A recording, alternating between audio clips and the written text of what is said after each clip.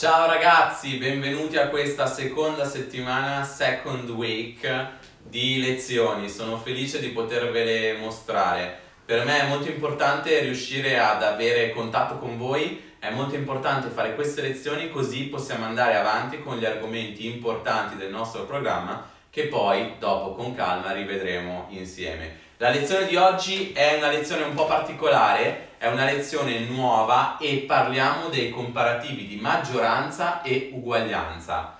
Ringrazio chi eh, utilizza i nostri libri di testo, che sono dei libri molto molto validi e eh, soprattutto vi voglio eh, dire che non basta soltanto la nostra video lezione, bisogna fare anche poi gli esercizi, gli esercizi che servono a impratichirsi e a portare a casa un bagaglio di parole, di termini e perché no ad essere un pochino più sgamati nel, eh, nel parlare e nel muoversi con la lingua inglese. Ecco questa è una parte che noi non possiamo fare, io non vi posso seguire a casa con i vostri esercizi, è lasciata a voi e voi quindi dovete cercare di fare del vostro meglio per fare tutto ciò che vi è richiesto e perché no, per essere anche un po' curiosi, perché la lingua inglese ha tanto da dare.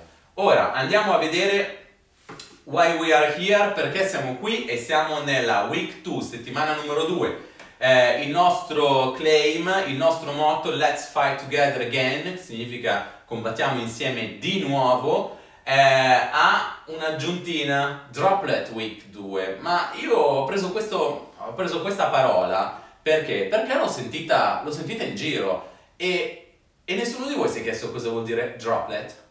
Droplet in realtà in inglese è la gocciolina.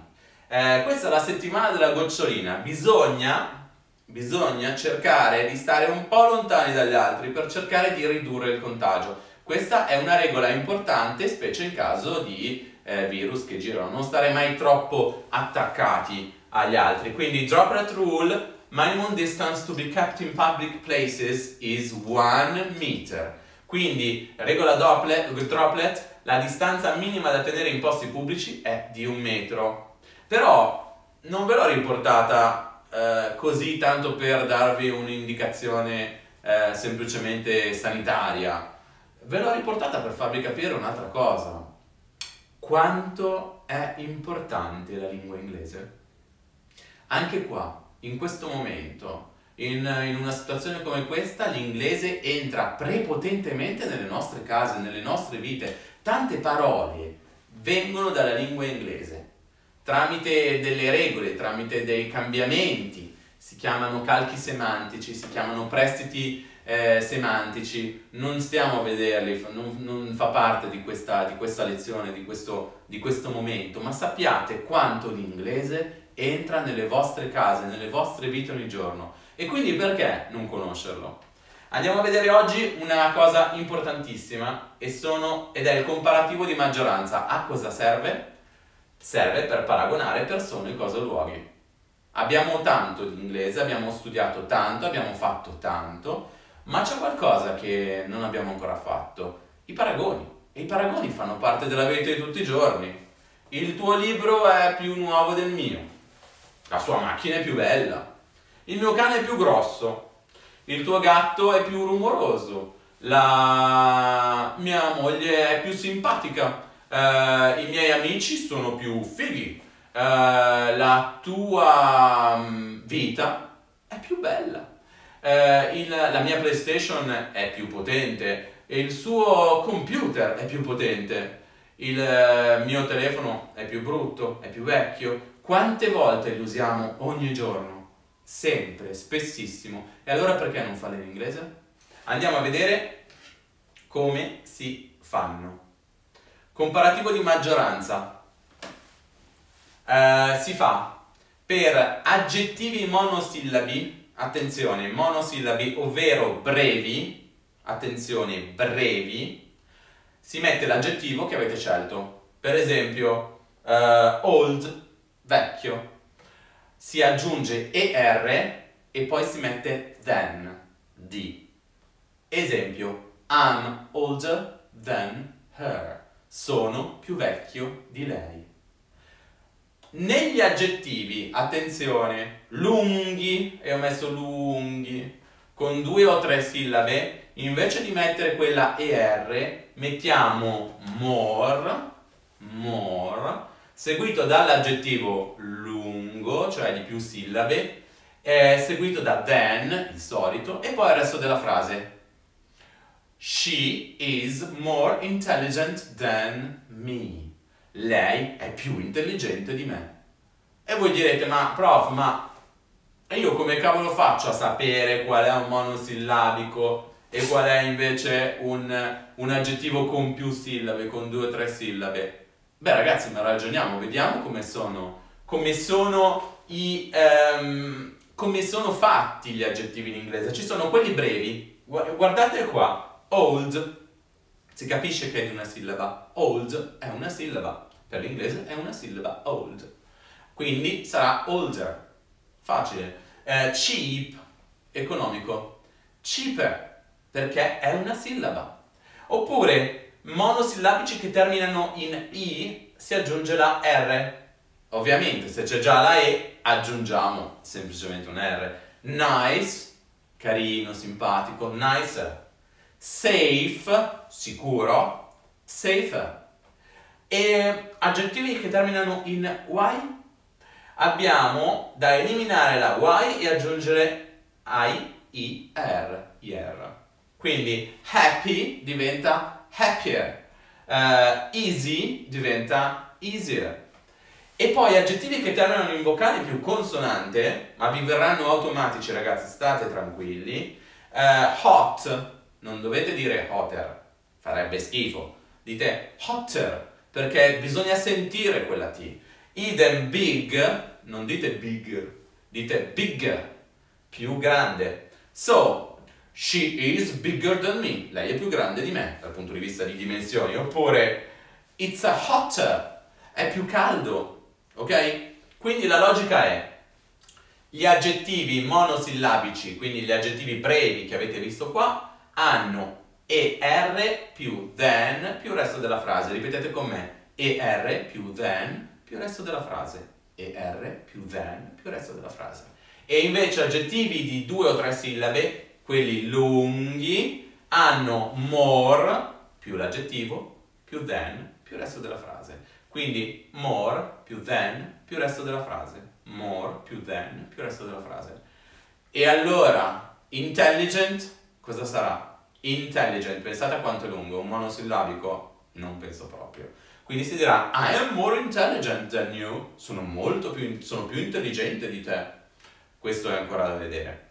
Eh, idem tante altre cose. Ora aggiungiamo di nuovo il, lo schemino dei, degli aggettivi che li, adesso li vediamo bene con due o tre sillabe, quelli lunghi. E quindi abbiamo modern, modern, sentite che sono due sillabe, modern, modern.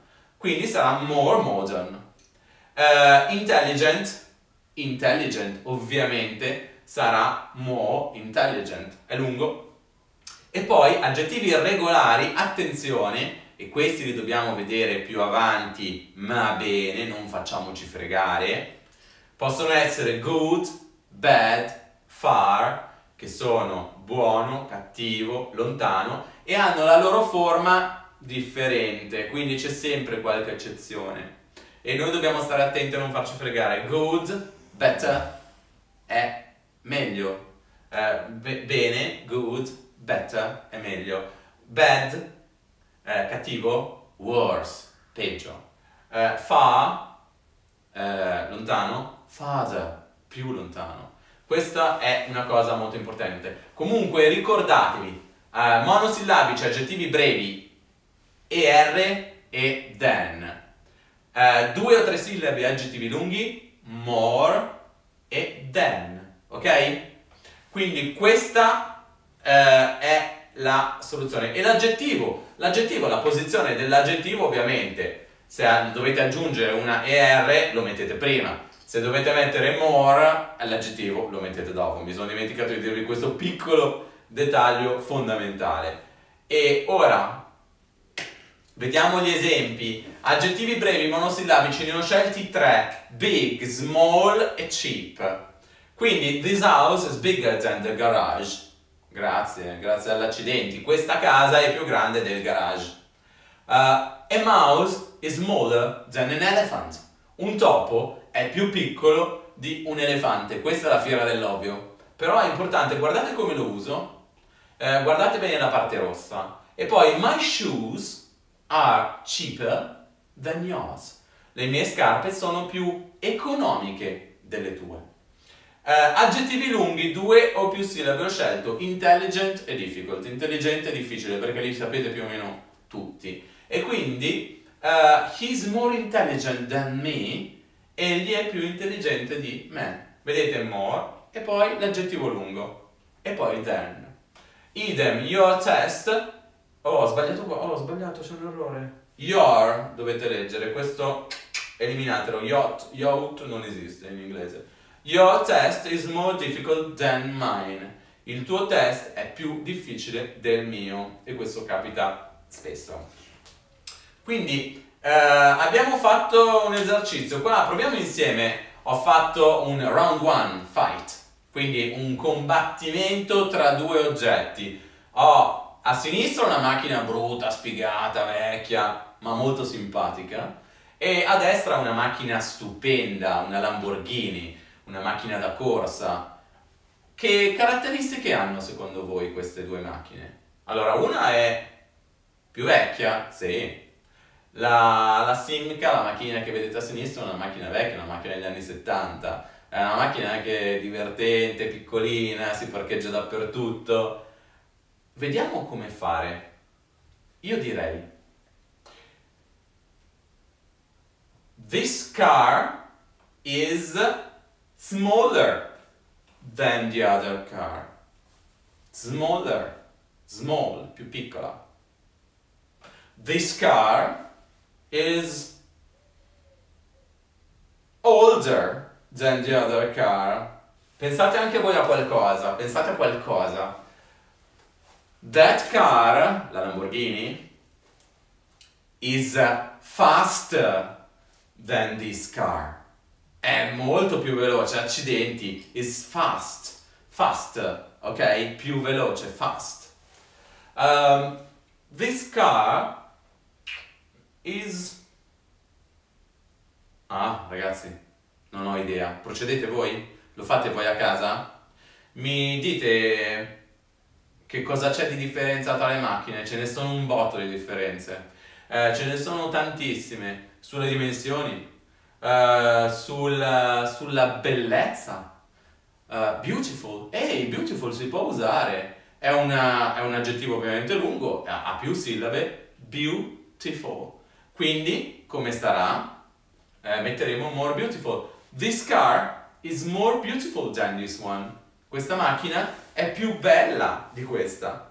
Capite come funziona? Abbiamo fatto un esempio per farvi capire, in questo piccolo contest, come si possono fare le comparazioni di cose. Ed è molto importante che anche voi proviate, vedete due oggetti che non c'entrano niente l'uno con l'altro, vabbè, che hanno qualcosa in comune devono averlo, no? Più o meno.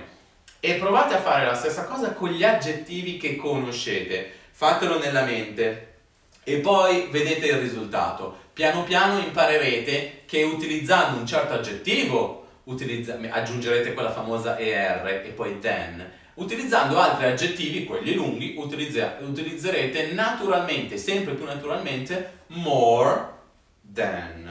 Ok? Questo direi ragazzi che per oggi era tutto. Sono felice di essere stato con voi. Sul mio canale Ema Video Works troverete le lezioni accessibili tramite link, accessibili tramite link che abbiamo fatto insieme.